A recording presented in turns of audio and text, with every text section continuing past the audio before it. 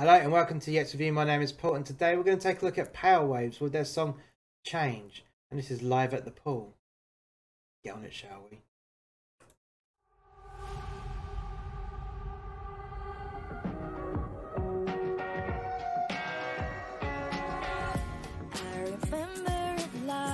Nice little uh, setup. Nice and compact, bit of carpet on the floor. Reminds me of people just performing in the 90s in a uh, dive bar on the smallest stage possible.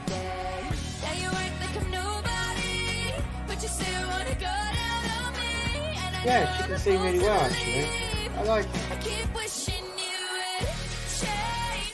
Nice chilled band. Like a band you would hire just to get people having a few bevies in the back of the pub.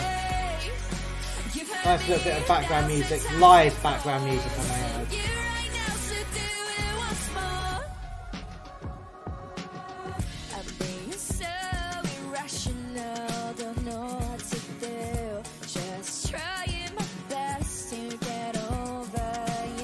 Would I listen to this in my car?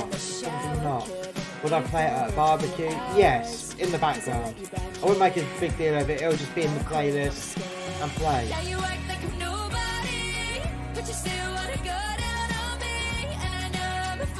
Do they have stage presence? Well, singer does.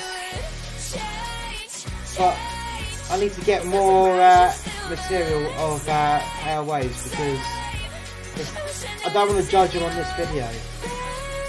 There needs to be more for me to make a final judgment of them. Final judgment. Makes me sound like Simon fucking Cowell. it's too soon for me to make up my mind on this band.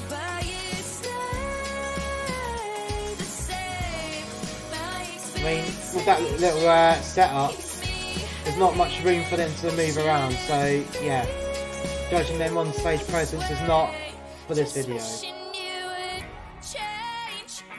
He got that little lighting effect with the old practical lights.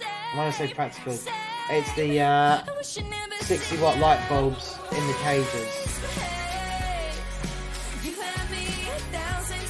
Nice little tungsten effect in that, and when you've got loads of tungsten lights like that, works really well.